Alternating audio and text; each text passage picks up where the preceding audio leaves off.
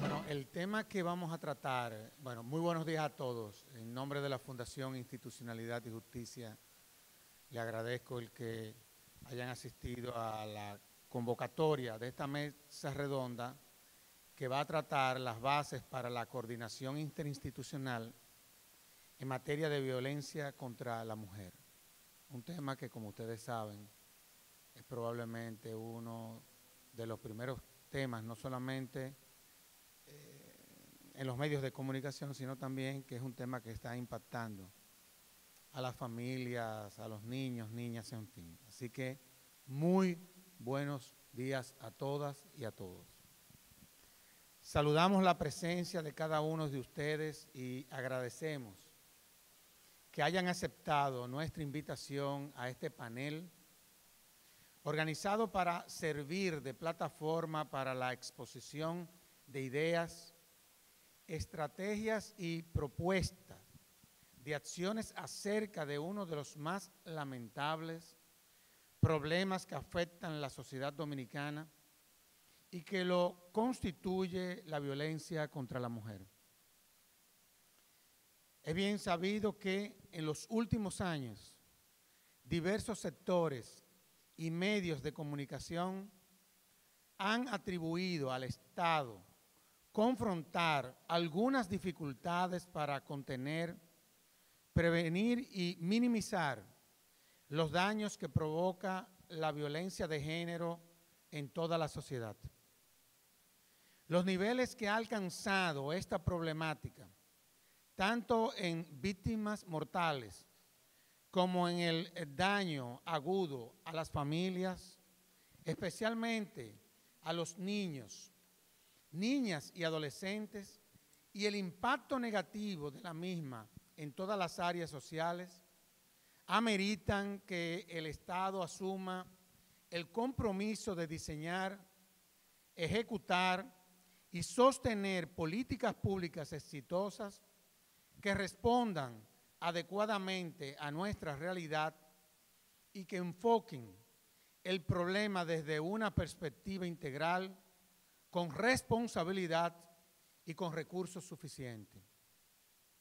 En ese sentido, desde la Fundación Institucionalidad y Justicia, consideramos impostergable que las instituciones estatales se aboquen a, a la elaboración de políticas eh, coordinadas en virtud de ejes transversales definidos para ser puestos en prácticas desde las distintas instituciones que interactúan el tema que hoy tratamos.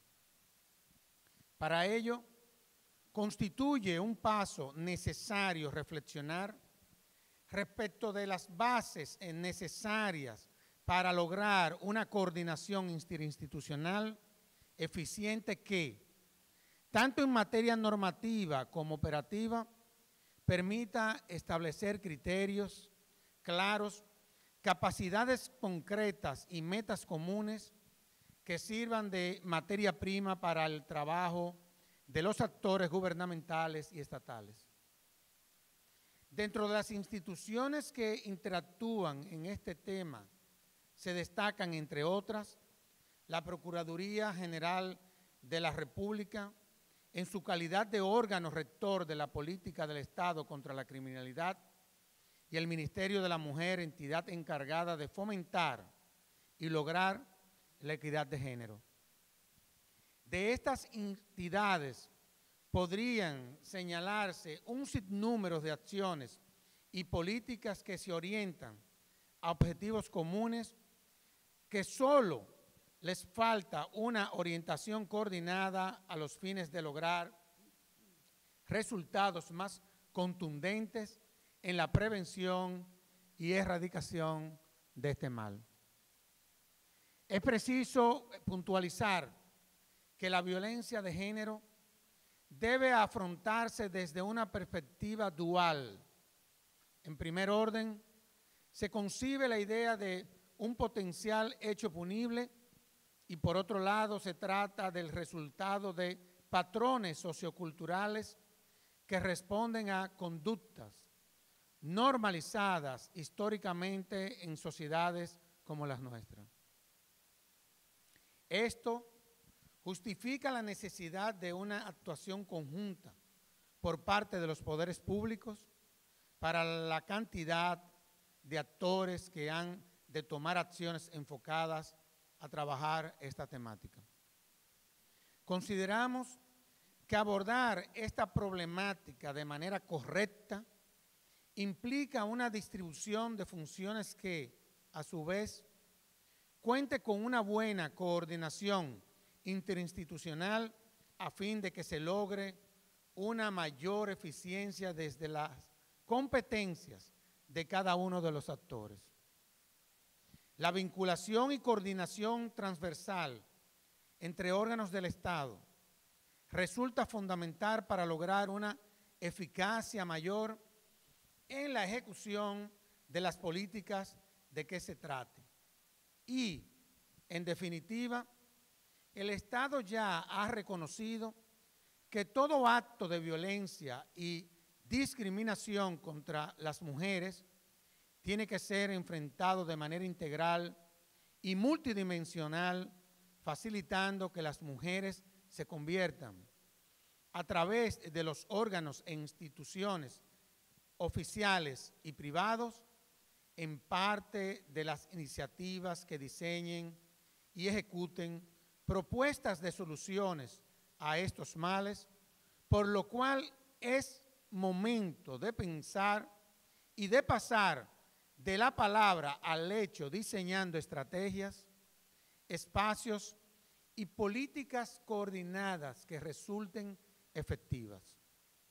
Precisamente, para abordar esta necesidad, contamos hoy con la presencia de los destacados juristas y expertos en la materia que son Dila Leticia Jorge, destacada abogada y especialista en la materia, Ramón Núñez, abogado consultor y uno de los más connotados penalistas, cientistas de la criminología en la República Dominicana, y Cristóbal Rodríguez, quien es, como ustedes saben, uno de los más connotados constitucionalistas que tenemos en el país. Agradecemos a ustedes por compartir de manera tan generosa sus conocimientos en esta materia.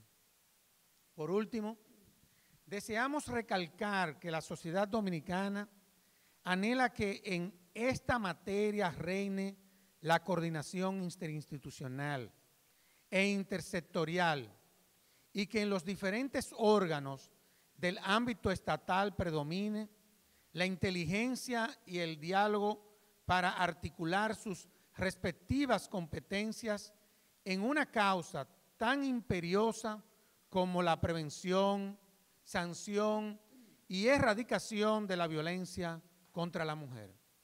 De inmediato le doy la palabra a la licenciada Dilia Leticia Jorge. Muchas gracias y muy buenos días a todos y todas. Muchas gracias a la Fundación Institucionalidad y Justicia por invitarme a participar en esta mesa de seguridad y justicia para tratar este tema, como decía Servio Tulio, eh, tan importante y que está impactando la vida de muchas mujeres y niñas de nuestro país.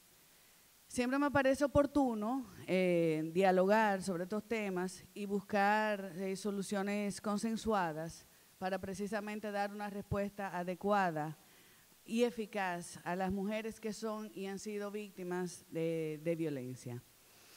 Evidentemente, tengo que referirme al proceso legislativo que se ha llevado a cabo en nuestro país con relación a esta temática partiendo de que nuestro país ha ratificado convenios internacionales, tanto a, nivel universal como en la Organización de las Naciones Unidas, como a nivel regional con la Organización de Estados Americanos, y hemos participado como país en las conferencias internacionales sobre la mujer que ha celebrado las Naciones Unidas desde 1975, que por cierto ese año fue declarado como el Año eh, Internacional de la Mujer.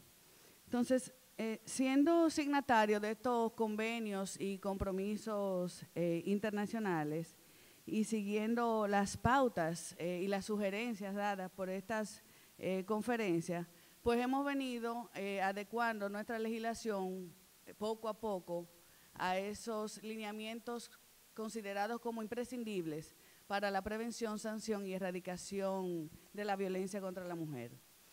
De acuerdo al Centro de Estudio de Género del INTEC, en un documento que prepararon en marzo del año 2013, dice lo siguiente. En el marco del abordaje de la violencia, los alcances analizados en las diferentes sectoriales indican la debilidad en el enfoque de género y de derechos para su erradicación, prevaleciendo las intervenciones dirigidas a la persecución y sanción en desmedro de la prevención y la promoción de nuevas formas de relacionamiento social. Avanzar en el abordaje de las raíces del problema de la violencia contra las mujeres que se sustentan en la cultura de dominación que propicia la masculinidad agresora, basada en el poder y el control de los hombres sobre las mujeres, representa un desafío primordial. Esto indica que a pesar de los avances logrados con la ley 2497, que sanciona por primera vez en nuestro país lo que es la violencia contra la mujer por el hecho de ser mujer, que por cierto fue una ley producto de un consenso de organizaciones, eh, instituciones gubernamentales, organizaciones de la sociedad civil, grupos feministas, organizaciones, eh, organismos internacionales eh, y esta ley que adoptó eh, las definiciones de violencia contra la mujer que tiene la Convención Belén do Pará, pues, eh, y que marcó un hito en nuestra legislación, modificando el Código Penal, pues no ha sido suficiente. Como dice ese estudio o ese documento del Centro de Género de INTEC, no es suficiente. Se ha visto que no es suficiente la sanción y definitivamente que el tema de la prevención y los cambios en las eh, relaciones eh, socioculturales, pues representa un, desafío constante. Viendo esa realidad, es así que en el año 2011, pues eh, varias instituciones gubernamentales, organismos también de la sociedad civil, el foro feminista, decidieron pues analizar la situación y buscar una respuesta eh, integral a la situación de la violencia contra la mujer. Y de manera consensuada eh, se formó un grupo de trabajo para que elaborara un proyecto de ley eh, que articulara esa, esa, coordinación, esas acciones de manera específica que deben llevar a cabo diferentes instituciones, porque este es un problema que, como ya hemos visto, no basta que sea una sola institución que le preste atención, sino que debe ser eh, todos y todas, todas las instituciones tienen que ver de alguna forma. No todos los casos llegan a la Procuraduría General de la República, no, o sea, hay casos que se pueden descubrir o en temas de salud pública o en temas de educación o en temas incluso, señores, no solamente hablando de violencia física, psicológica, sexual, eh, estamos hablando también de la desigualdad en los salarios, ahí estaría involucrado también el Ministerio eh, de trabajo. Es decir, que es un problema eh, que no solo debe ser llevado a cabo por una institución. Entonces, ante esta situación, se formó un grupo eh, de trabajo que quiero reconocer, voy a mencionar los nombres de las personas que participaron en ese proyecto de ley orgánica para la prevención, atención y sanción y erradicación de la violencia contra la mujer, porque creo que hicieron un gran trabajo y es necesario reconocerlo, fueron Alina Ramírez, Olga Dinaya Verías, María Ramos, Sobeida Cepeda, Claudia Saleta y Mayra Brea Cabral. Este proyecto fue redactado y presentado por el senador Félix Bautista en el año 2012 al Congreso de la República. Ha perimido, de repente se menciona, vuelve y para arriba y para abajo, y que no, que sí, que no, y nunca se ha aprobado. Una parte importante y algo que Servio Tulio estuvo mencionando, el tema de buscar eh, que estos planes, proyectos, eh, iniciativas sean sostenibles en el tiempo. Y definitivamente que para que un proyecto, un plan, un programa sea sostenible en el tiempo, independientemente de los cambios que se produzcan en las instituciones, es el tema del presupuesto, la asignación de recursos. El proyecto de ley del 2012 establecía que debía haber una asignación de recursos no menos del 10% institucional. Esta propuesta del 2018 está sujeta a disponibilidades presupuestarias y establece hasta, hasta un 2% del presupuesto institucional. O sea, le pone un límite muy bajito eh, a, este tema. El proyecto del 2012 fortalece la función rectora del Ministerio de la Mujer y en el proyecto del 2018 la Procuraduría asume una función rectora. Miren, eh, en el proyecto del 2012 se fortalece incluso la Comisión Nacional para la Prevención, Atención, Sanción y Erradicación de la Violencia contra la Mujer, que es el CONAPLUVIC.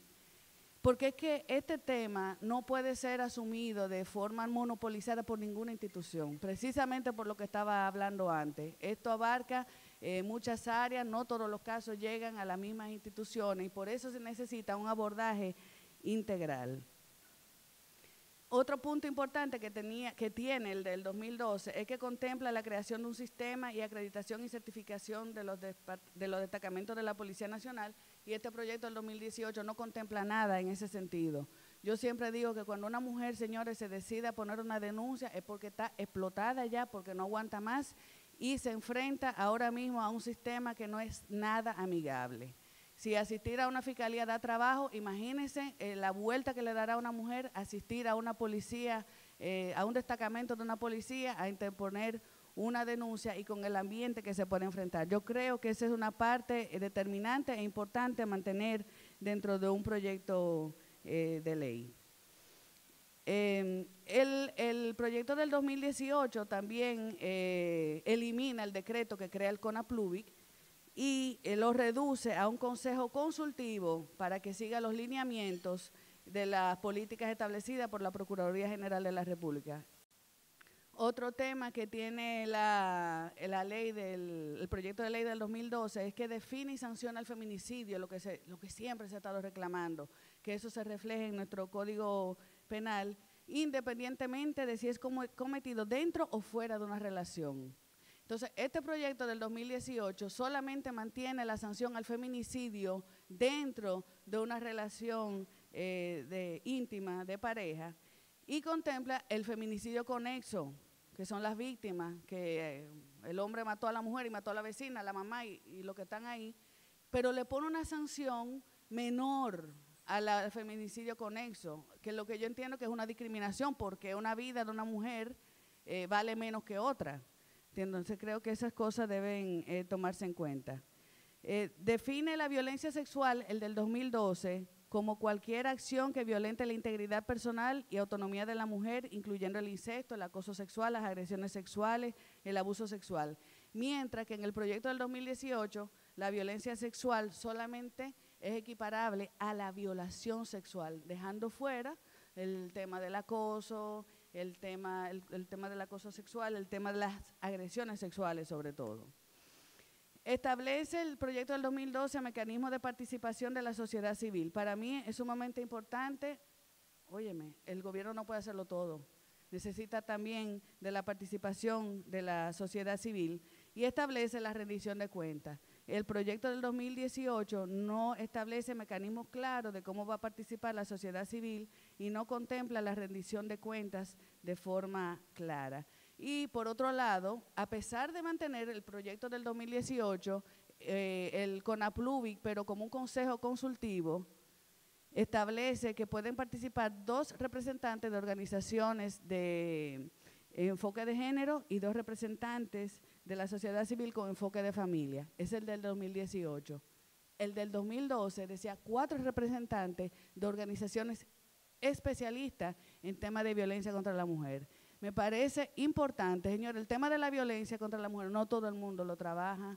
Incluso el tema de la asistencia terapéutica, psicológica, la mujer tiene que ser un especialista porque es que eh, las intríngulis eh, de esos casos lo conoce un experto, no todo el mundo, incluso una persona que no sea experta en el tema manejando un caso puede hacer más daño que bien.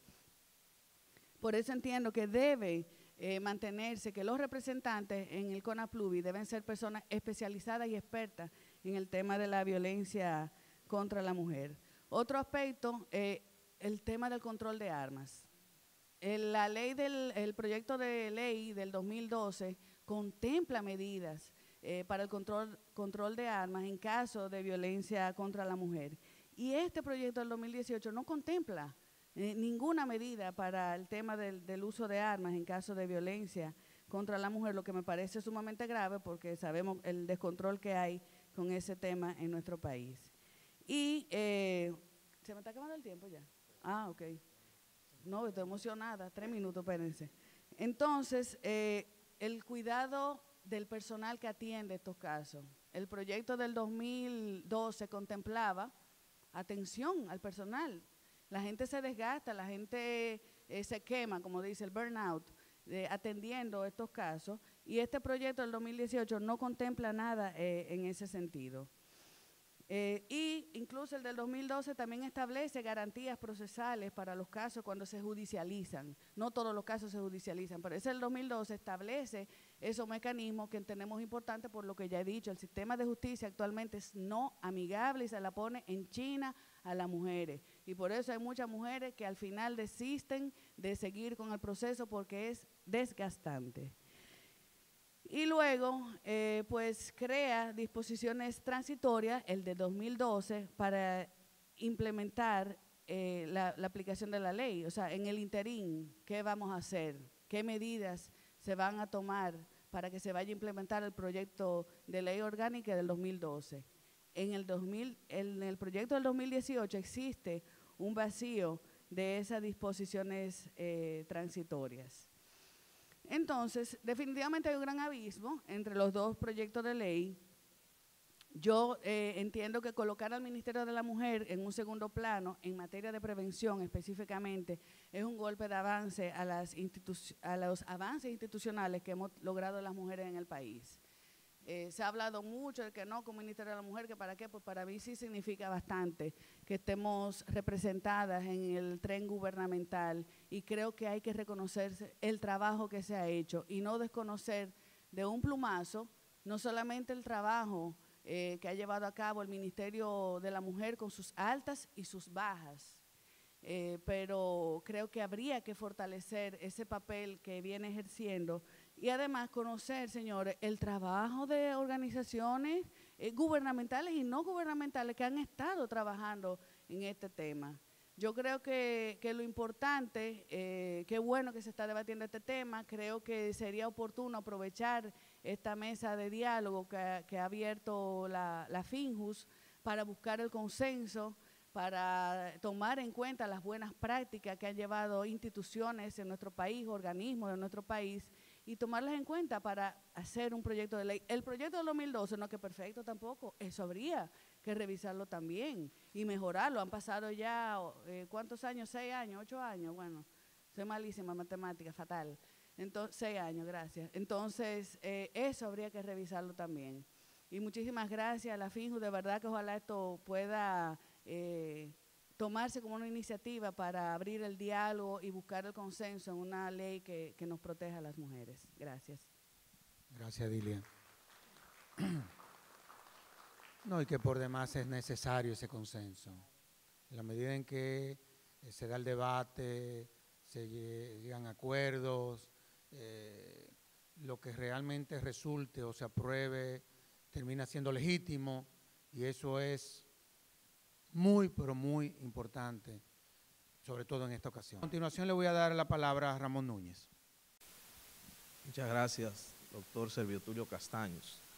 Eh, agradezco a la Fundación, a la Mesa Redonda sobre Seguridad y Justicia, eh, por la oportunidad que me da de compartir tanto con Dilia Leticia Jorge como con mi buen amigo, el doctor Cristóbal Rodríguez. Eh, creo que es poco lo que yo puedo agregar a la digamos, explicación de cuál es el estado de la cuestión que ha hecho la licenciada Dilia Leticia Jorge Mera, eh, y con conocimiento, ¿no? con conocimiento de causa, porque ella ha trabajado en ese, en ese ámbito especializado, tal como ella señalaba. Eh, el tema que nos convoca, que es precisamente quizás el, aspecto que ella resaltó al final, el de la coordinación, el diálogo, el consenso, eh, a propósito de una política pública tan importante. Eh, yo creo que, yo sé que hay una discusión, yo no conozco, pero ya sí, gracias a la explicación que ha dado Dilia Leticia, más o menos la, eh, el núcleo de la discusión o la parte más, más eh, eh, sensible, llamémosle así, en cuanto a quién, qué, qué, papel, qué misión tiene atribuida, en un caso la Procuraduría General de la República, en otro caso el Ministerio de la Mujer. Y eso me permite o me trae a la mente algo que, con lo que suelo trabajar, que es a propósito de la política criminal, porque quizás a, propósito de la política criminal es que surge toda esta discusión. El artículo 160 y 169 de la Constitución empieza diciendo que el Ministerio Público es el órgano del sistema de justicia responsable de la formulación e implementación de la política del Estado contra la criminalidad, dirige la investigación penal y ejerce la acción pública en representación de la sociedad. Eh, eso quizás, eh, unido a algunas disposiciones de la ley orgánica del Ministerio Público, eh, puede generar la, idea de que eso implica que es todo lo que es, digamos, todo lo que tiene que ver con la gestión de la conflictividad tiene, está a cargo del Ministerio Público. Y eso es importante quizás esclarecer. El, en todo el ámbito de la política criminal, eh, eh, digamos que se construye a partir de tres realidades sociales prejurídicas que están en la base de toda la actividad del Estado en persecución del delito, que son la realidad del poder, porque cuando, cuando se pone en marcha el derecho penal lo que se hace es castigar muchas veces, o sea, eh, termina con una gente presa, para ponerlo en palabras sencillas, eh, la otra realidad social es la de la violencia, porque resulta que ese poder punitivo no, no son flores lo que, lo que anda prodigando el derecho penal, sino que es, una, es una limitación muy grave a la libertad de las personas. Y otra realidad social prejurídica que está en la base de toda esa actividad es el conflicto. Y yo quiero centrarme en el conflicto, o sea, no hay sociedad sin conflictos, fuera de las utopías. Uno de esos conflictos, bueno, también, no todos los conflictos son malos, algunos conflictos son positivos, porque detrás de grandes conflictos hay grandes conquistas, las revoluciones, la conquista de los derechos, de los derechos de la mujer también, no ha sido sin, sin, sin conflicto esas, eh, esas conquistas. Bueno, pero hay conflictos que podríamos llamarlo negativo y que la sociedad entiende que, o el Estado entiende que eh, afecta a la, a la comunidad de manera más sensible y en eso se decide convertirlo en un delito. Ese es el caso de la violencia contra la mujer. De hecho, la violencia en sentido general también eh, eh, se manifiesta en, por ejemplo, golpes, heridas, no solo independientemente de que sea hombre o mujer, pero en el caso de la violencia contra la mujer requirió incluso una intervención específica del Estado, tomando en cuenta eh, la, gravedad de esta afectación. Que detrás de eso hay una, todo un tema que está vinculado al reconocimiento mismo de la dignidad de la mujer, de la equidad, de su, de su igualdad, de sus derechos, de su autonomía. Bueno, esos conflictos resulta que la sociedad selecciona cuáles son esos conflictos, pero frente a todos los conflictos que se dan en la sociedad, por ejemplo, los que se presentan a la mujer, no todos tienen una solución punitiva, solo algunos de ellos. Y en esos interviene claramente la política criminal, que es una de las políticas de gestión de la conflictividad. Porque, hay, porque si dijimos ya que no hay sociedad sin conflicto, es como que uno puede decir, bueno, pues ni modo, ¿qué hacemos? Eh, eh, superar eso y saber que hay conflicto. No, el Estado, ¿qué papel tiene? El de gestionar esa conflictividad. Y entonces tiene que gestionarla, y por eso hay grandes políticas. Así como hay grandes políticas de Estado, política educativa, política económica, política social, hay políticas de gestión de la conflictividad. Y dentro de esas políticas hay política judicial, porque tiene que haber un lugar donde, donde reclamar los derechos. Hay una política de derechos humanos que creo que está muy vinculada precisamente a esto, a esta misión del Ministerio de la Mujer, eh, vinculada a la equidad de género. Eh, hay una política de seguridad, porque es muy válido que todos queramos vivir en una sociedad segura. Todas esas son políticas de gestión de la conflictividad. Y por último, no por casualidad está de último, está la política criminal, que entra en, marcha, repito, cuando las demás políticas de gestión de la conflictividad resultan insuficientes para gestionar el conflicto. Eso quiere decir que no es solo con cárcel que se resuelve los conflictos. De hecho, la sociedad tiene demasiado fe eh, en, la, en, la política criminal y en el derecho penal. Y ustedes saben que la fe es la eh, creencia ciega en lo que no se ve. Entonces, mucha gente vive diciendo que, que el derecho penal va a resolver el mundo, pero eh, cuando uno contrasta eso con la realidad, resulta que eh, ha servido de muy poco. Y yo lo digo aunque yo soy penalista, ¿no? Pero lo cierto es que hay mucha fe en que el derecho penal, porque todo lo queremos resolver con cárcel, con pena. Dicho esto, como digamos una puesta en contexto, paso a, tratar de, aportar mi reflexión al, al conflicto que se está dando a propósito de esto. Y por eso tengo que voltear la página para llevarme de las notas que tomé de, lo, que ha expresado Dilia Leticia.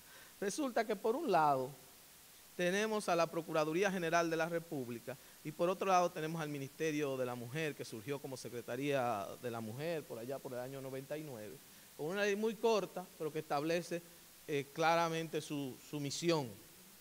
Y en esa misión habla de coordinación interministerial, aún antes de que aquí hubiera propiamente ministerios, pero eh, coordinación interministerial, asegurar el manejo adecuado de los casos por parte de las instituciones responsables de la violencia contra la mujer y menciona eh, Ministerio Público o Fiscalía, algo así.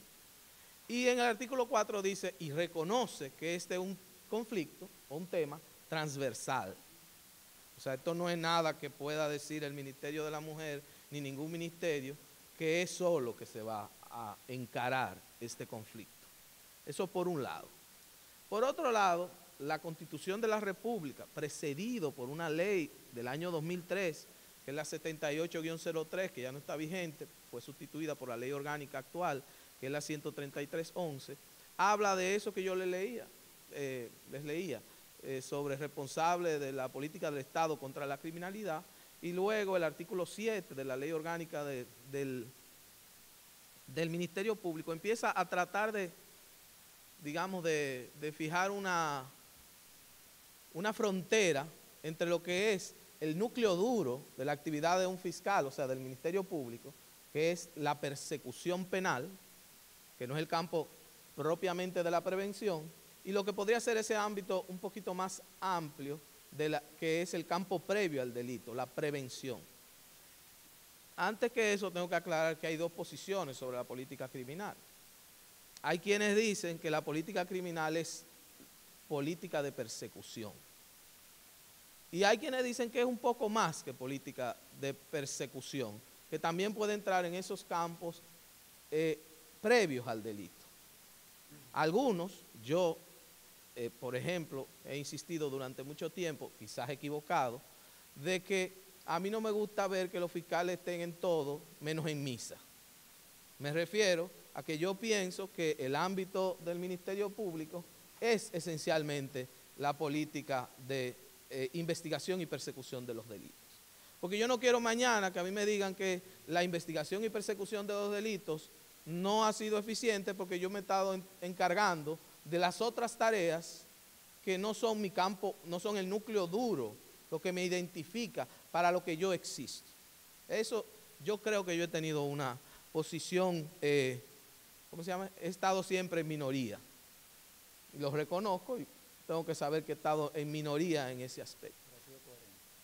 Pero también reconozco que hay posiciones muy serias que nos dicen, porque es verdad que las, las divisiones siempre son arbitrarias. Decir que lo que te toca a ti es de ahí para adelante, desde esta raya, eso es una, una decisión arbitraria, porque hay algunas cosas que están antes de esa línea que posiblemente tú estés en mejor condición. Es más, que para tú enfrentar o afrontar o encarar tus responsabilidades, tienes que tomarla en cuenta. Si no, vayan a una fiscalía que atende temas de violencia, a ver si solamente de leyes y de fiscales que se habla ahí. Hay una enorme, un enorme despliegue, muy exitoso, por cierto, en muchos casos, en aspectos de que de, eh, eh, de tratamiento interdisciplinario. Si hay un ámbito donde se han hecho esfuerzos de tratamiento interdisciplinario, ha sido el de la violencia. Y se ha hecho desde el Ministerio Público en coordinación con otras instituciones del Estado. O sea que eso ha funcionado relativamente cuando se compara con otros, eh, con otros ámbitos incluso, eh, eh, y con otros países, quiero decir, por lo menos en lo que yo he visto del Ministerio Público. aquí en otros países veo una, un ámbito mucho más dinámico, más activo, con esos resortes de tratamiento interinstitucional, que no es tampoco que algo que se repite en muchos sitios incluso con algún nivel de desarrollo eh, socioeconómico mayor que, el nuestro, quizá porque nosotros tenemos la tragedia fuerte de que el problema de violencia contra la mujer es, eh, digamos, muy alto, entonces muy recurrente. Y al ser tan recurrente, bueno, son esos músculos que estamos utilizando todos los días para tratar de gestionar la conflictividad. Dicho eso, eh, me refiero a que, aunque sea el límite, ¿qué hizo la ley orgánica del Ministerio Público? Dice, en el artículo 7, que se llama Ministerio eh, Política Criminal, dice que en lo que tiene que ver con políticas preventivas y de control, estas serán articuladas bajo la responsabilidad del Procurador General de la República en colaboración con los otros órganos e instituciones que correspondan y que las de gestión y persecución serán adoptadas exclusivamente por el Consejo del Ministerio Público para garantizar la autonomía funcional que dispone la Constitución. ¿Eso por qué? Porque en la propia ley reconoce que todo el campo de la prevención es una tarea más propia del Ejecutivo. Y para eso, por ejemplo, existe un ministerio, el Ministerio de la Mujer, y que tiene unas tareas especializadas. Yo entiendo, así, en los pocos minutos que me quedan, que si, yo tuviera en un taller de eso de planificación estratégica, lo que eh, muchas veces participé eh, con Finjus y que le empiezan a hacer a uno algunos cuadritos, uno diría, el, en el caso de violencia contra la mujer, aparte de los delitos, donde la, palabra, la voz cantante de la investigación y persecución es el núcleo duro del Ministerio Público, en todo el campo previo, el Ministerio Público tiene que ser un vagón de ese tren, pero la locomotora es el Ministerio de la Mujer. En cambio, en el campo de la investigación y persecución del delito, eh, la locomotora tiene que ser la Procuraduría General de la República, el Ministerio Público, y el Ministerio de la Mujer, uno de los eh, vagones, quizás el más importante. En pocas palabras, que nada, eh, tenemos el mismo problema que hace cinco minutos, seis o siete que yo empecé a hablar, y que la solución nos la dio ya desde antes el, título de esta actividad, coordinación interinstitucional. Eh, esto no es, de hecho, no es un tema fácil de abordar, ni es ningún triunfo tomárselo para una sola de las instituciones. Yo creo que, sin lugar a dudas, lo que, se, lo que corresponde es la coordinación. Creo que hay que separar las aguas también porque no hay ninguna necesidad de que si hay un ministerio que, se llama Ministerio de la Mujer, esta pase a ser una, un, ministerio eh, con una función residual. Yo creo que sus funciones principales en todas las tareas que son tareas de gobierno, de promoción de políticas públicas, le correspondería al ministerio tener esa función rectora. Es cuanto puedo decir por ahora. Muy bien. Bueno, a continuación entonces le doy la palabra a Cristóbal eh, Rodríguez. Muchas gracias. Buenos días. Eh, yo, como que soy parte de, la organización de esto. ¿Cuántas veces yo he venido aquí a la mesa? Eh, y bueno, y como siempre contento de estar aquí. Gracias, Servio Tulio, a las FINOS y a los organizadores. Eh, yo pienso que el, el punto de partida de adecuado de toda esta reflexión debería ser como escudriñar el problema alrededor de ella en su realidad como tangible, más tangible, que es el de la violencia contra la mujer. Y lo digo porque poco a poco uno se va acostumbrando a aproximarse a los problemas a partir de las estadísticas, los números que publican los periódicos, los diarios de circulación nacional, en las redes sociales. Y las estadísticas tienen un efecto insensibilizador devastador.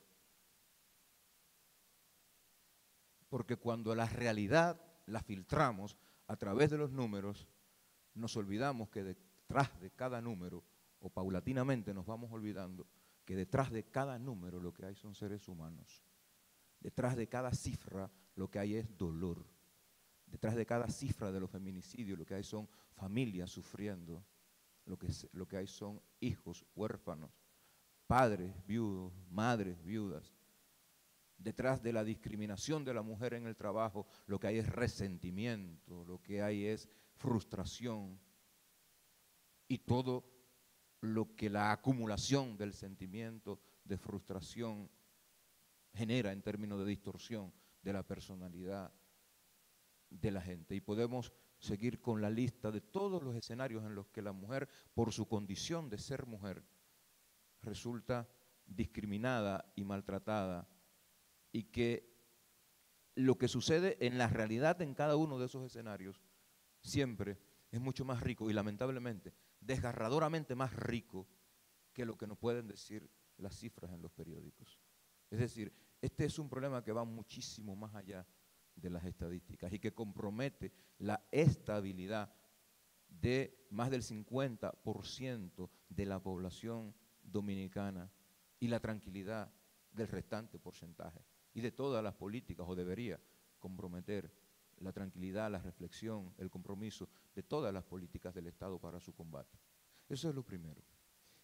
Lo segundo, yo pienso que el Estado, eh, la constitución reformada en el 2010 impone al Estado unas obligaciones muy relevantes que el Estado no ha cumplido con los adecuados niveles o con los niveles que demanda la magnitud del problema de la violencia contra la mujer en la República Dominicana. Cuando uno lee los mandatos que se derivan del texto del artículo 42.2 de la Constitución, que es el texto relativo específicamente a la proscripción de la violencia contra la mujer y la violencia de género, y cuando uno mira las directrices específicas que en términos de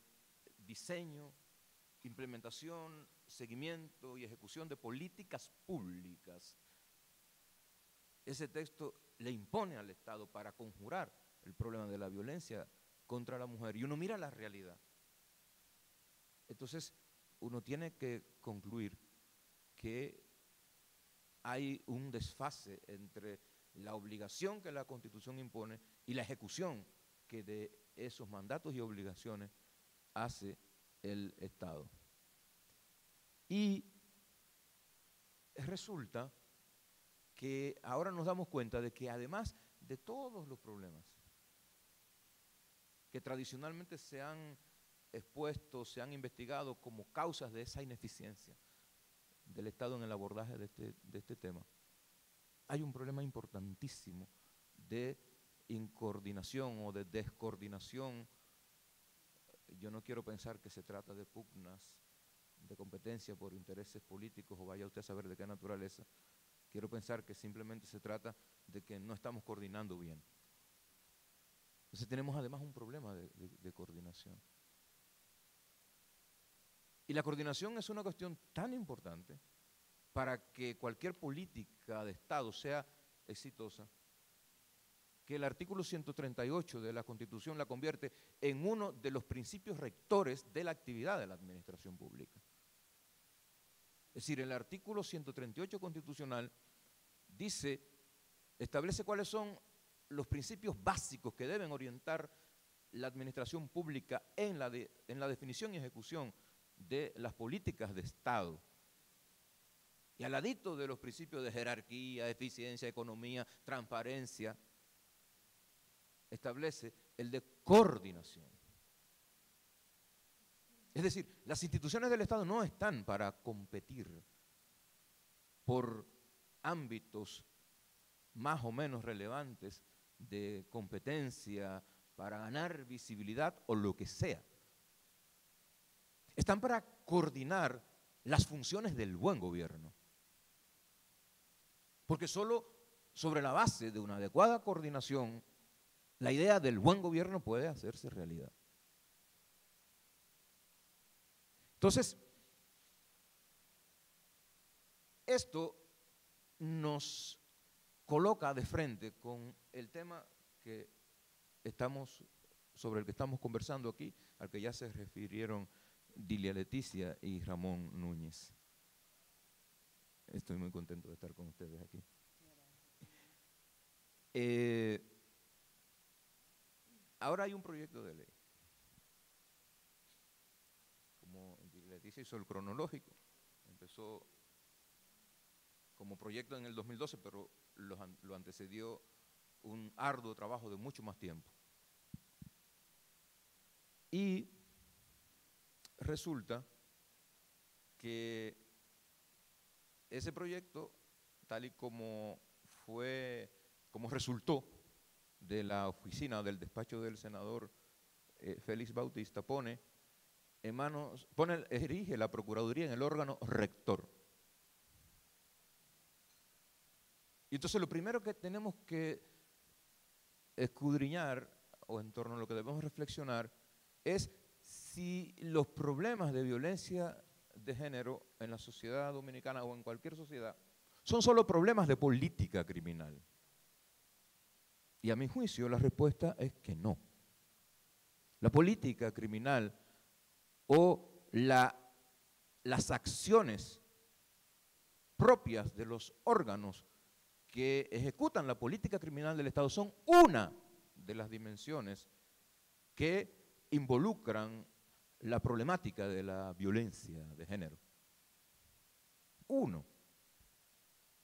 Aquí Dilia Leticia citando una investigación, un trabajo del Centro de Género de, de INTEC, decía que uno de los hallazgos de ese estudio fue que constatar que se privilegian las políticas de persecución y de sanción frente a las políticas de prevención. Y a eso yo diría, con agravante de que las políticas de persecución y de sanción son muy ineficientes. Muy ineficientes.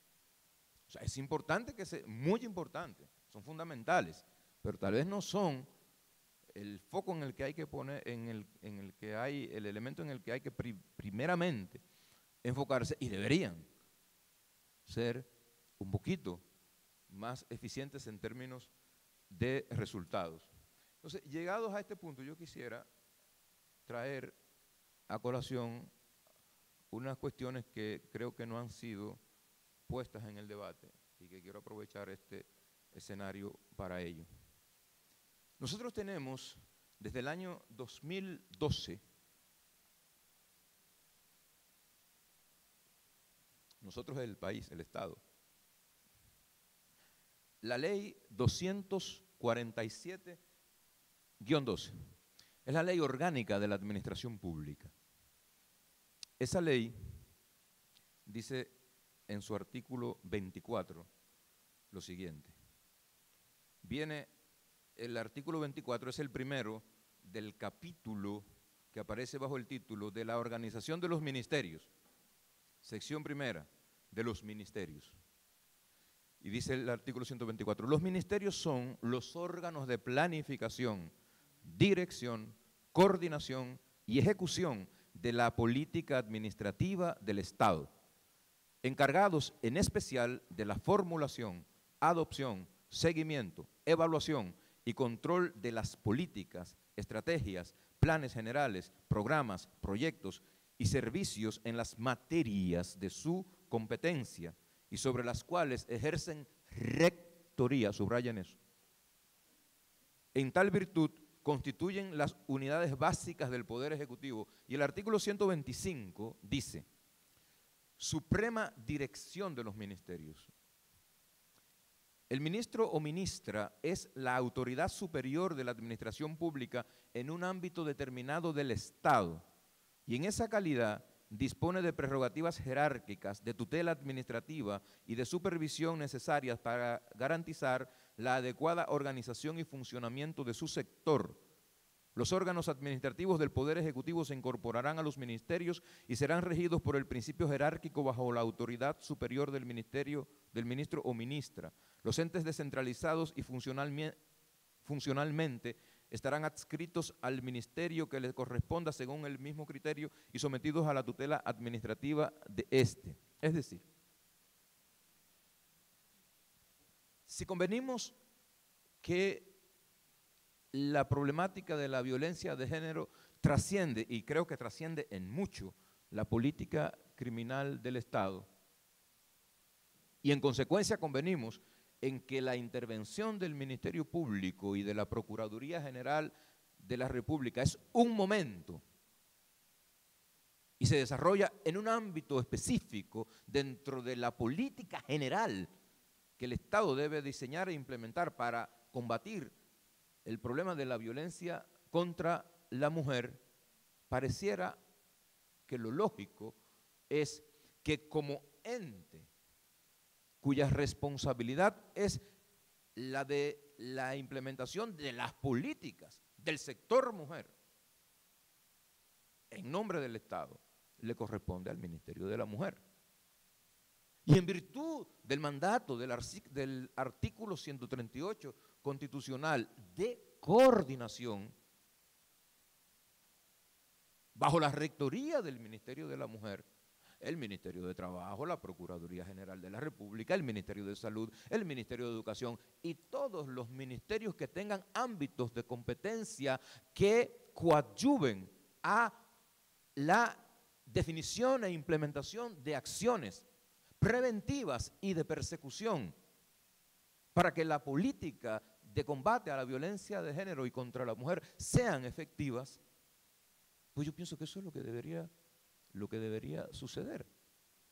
Es verdad que el texto del artículo 169 es muy clarito cuando dice que le corresponde, muchas gracias, a la Procuraduría General de la República la definición, la implementación de la política criminal del Estado.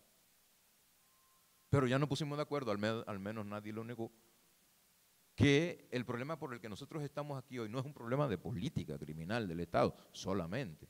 Es un problema en el que la política criminal del Estado juega un rol, pero que en la medida en que el Estado tiene un ministerio que es para las cuestiones relativas a la mujer, Pareciera que es ese ministerio el que debería ejercer de órgano rector y eh, mis amigos, que yo los quiero y los respeto mucho de la Procuraduría, eh, pues lo que deberían es, bueno, vamos a sentarnos entre todos, vamos a volver a leer los textos de la ley orgánica del Ministerio Público, el artículo 7 que decía Ramón, vamos a leerlos de cara a la ley, a los artículos 24 y 25 de la ley 247 guion 12 y del artículo 38, 138 y 42 de la Constitución. Y sobre todo, vamos entre todos a meternos en la cabeza que lo que se vaya a hacer, lo mucho, lo poco, lo eficaz o lo ineficaz que podamos hacer, no es para que nadie exhiba luego un trofeo, es para que las mujeres las maten menos, para que las discriminen menos, para que haya menos dolor. Es que de eso es que se trata al final. Muchas gracias.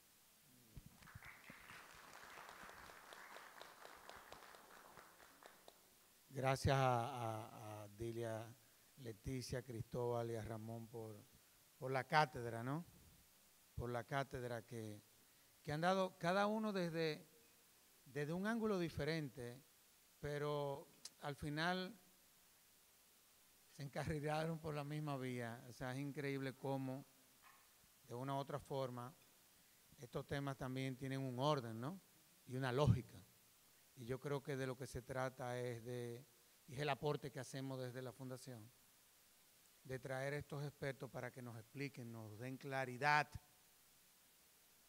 con la finalidad de eh, contribuir a este debate que uno lo que procura es que el producto final eh, sea lo mejor. Y como dijo alguien ahí, contribuya para que a las mujeres no las sigan matando. De eso es de lo que se trata. Así que en nombre de la Fundación le doy las gracias a ustedes, a ustedes que han venido y han escuchado a estos expertos y no me queda más que decir que hasta entonces.